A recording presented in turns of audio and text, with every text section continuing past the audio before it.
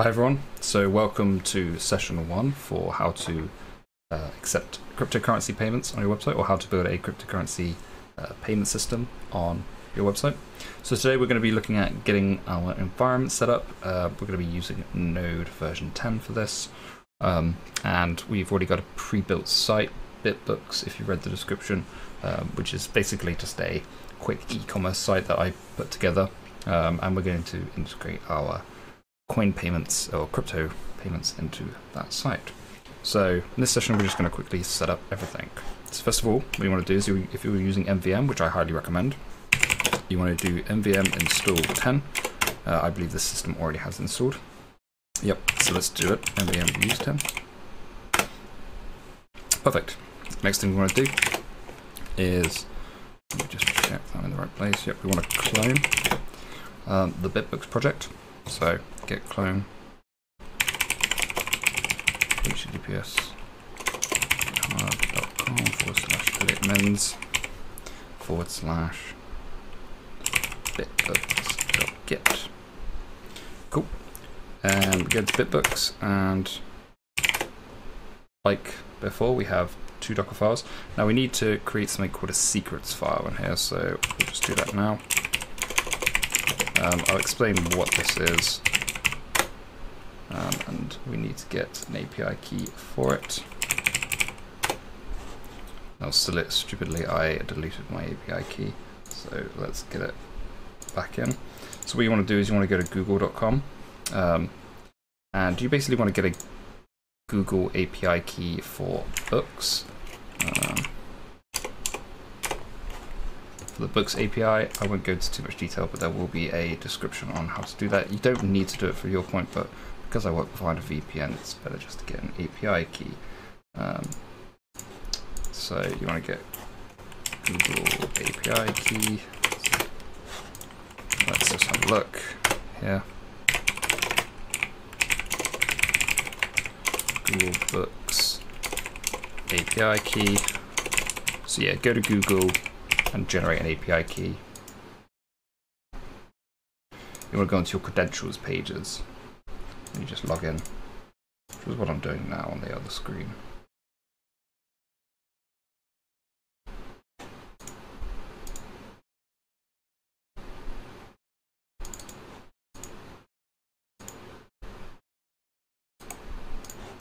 Okay.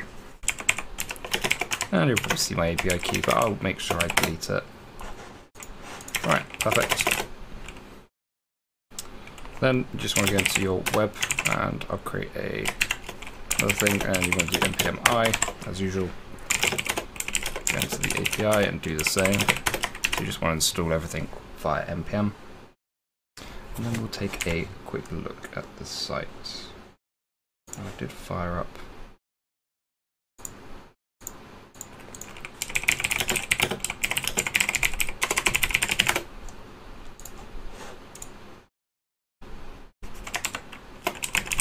Let me just split this up.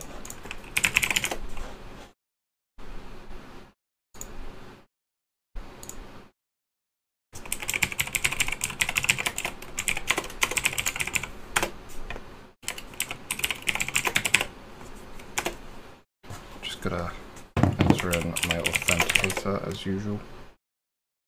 Uh, let me just do that and then I'll share my screen with you. Alright, so if we have a look, you can see it's uh, pretty pretty standard.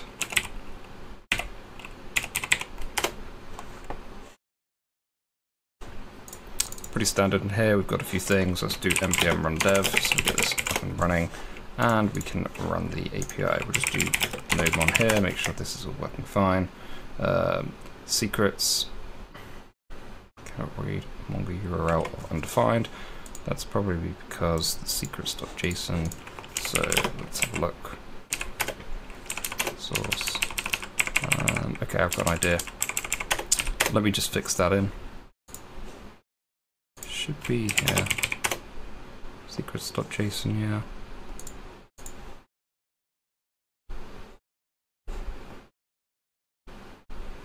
Okay, that's because it lives under environment. So let's just go up a directory. And here what we want to do is we want to just do this sure you've got your environment variables set up. That was my mistake. Um, but of course, uh,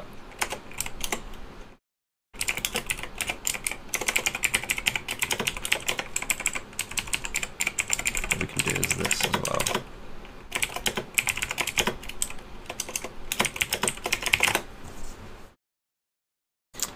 And make sure you've got MongoDB set up as well. That's something I should have mentioned. So you'll see I've got no MongoDB server, so I'll just do that now. System control enable Mongo start. Yep, so make sure MongoDB is running. Uh, install it in your system, however. If you've seen any of my other videos, you'll know how to do that. Um, cool, let's go into the API console. So you basically want to go into your Google APIs. I'll just share that now. Uh, there we go. Um, so BitBooks. Just go to credentials. Create an API key as I've got here. Perfect. And then add it to your secrets, like so. And everything's running. So if we have a look at the website now.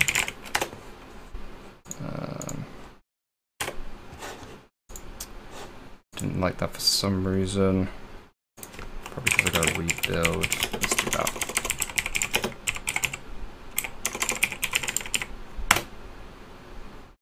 Not sure why it's uh, not enjoying this.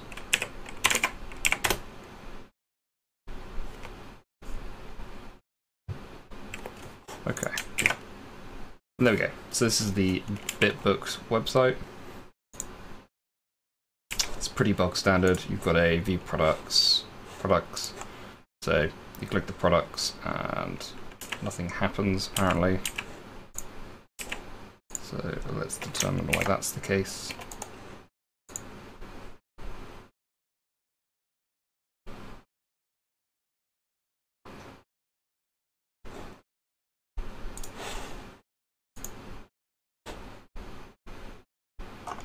Alright, so access is not defined. Let's uh, double check that. So these are probably issues that you will also go through, so I'm going to make sure we resolve them. Um, let me have a look at the terminal screen. So you can see we've got a bunch of issues here. Which is fine. So let's make sure we got access. So what we want to do is, let me switch, switch back to web. Perfect. Okay, so we'll go into our credentials. We've got our credentials here, but we probably want to enable them in the dashboard. So let's do enable API services. We'll search for books, and there's the Google Books APIs. Enable. So once that's enabled, we should be able to access it. It takes a little bit of time. This is where you want to do it. Perfect. Let's uh let's reset.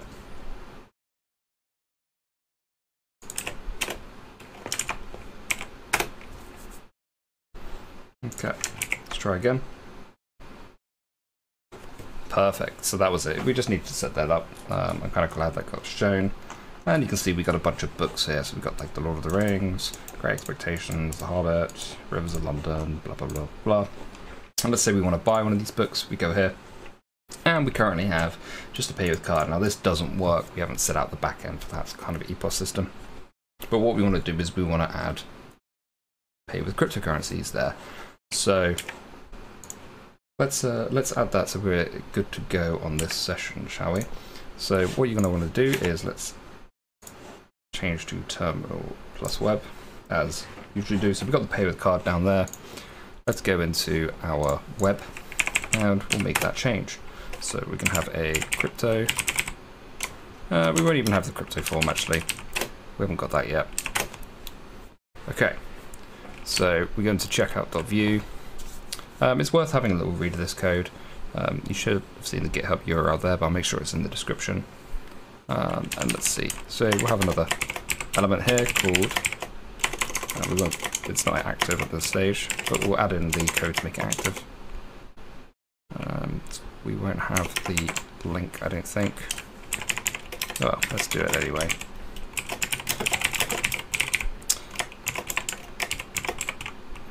So call it pay with crypto.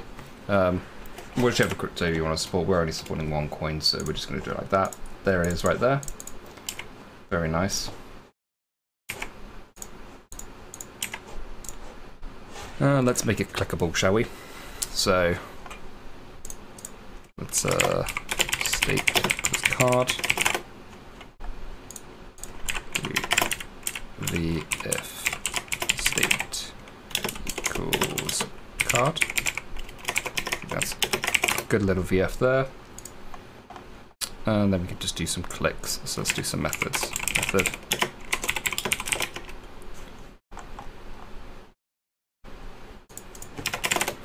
Okay.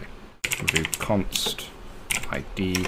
We'll just do some computed as well, I think, actually. We're going to do some compu computed values. Um, I just want to do is card. Return state equals card. Just because we're going to be using this before, and then we'll just do is crypto return state equals crypto. Okay. Now, let's do that. We'll get rid of this.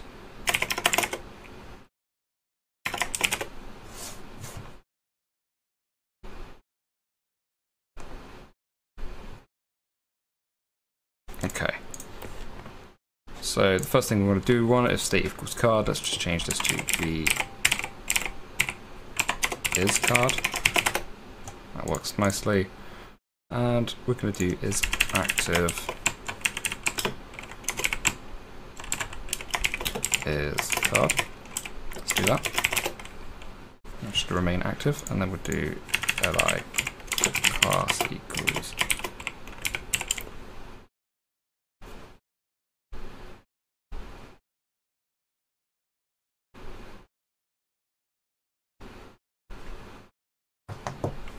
is active equals, and this one we'll do is crypto.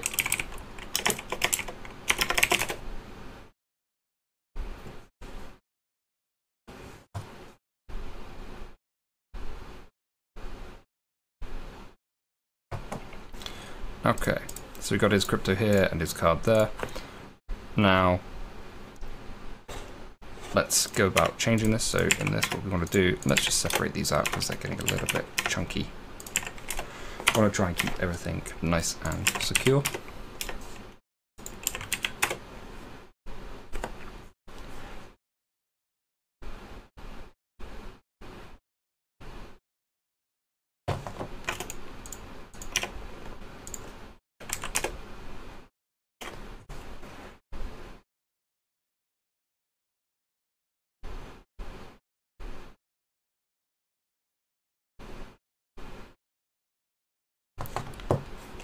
All right. Okay.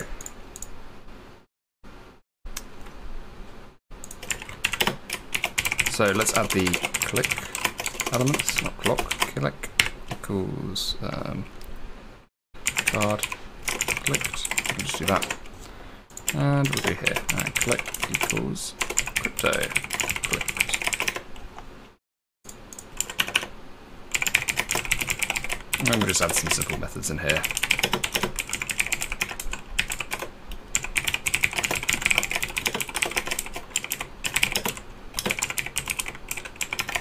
That should be enough. We got a couple of elements here. We just need to do this dot state. So let's do that.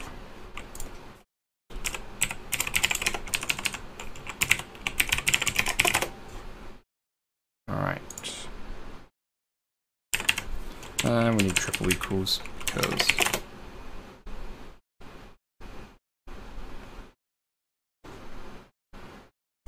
All right, let's give it a go, shall we? Okay, cool. So it definitely works. Um, the issue we've got though is the is active is not showing up. Okay, let's uh, let's see if we can do this. Then let's just try state equals card state equals crypto. Uh, so it looks like that should be fine. That's not the issue here because we've got the uh, everything else. So let me just double check on the view. I'll leave that there.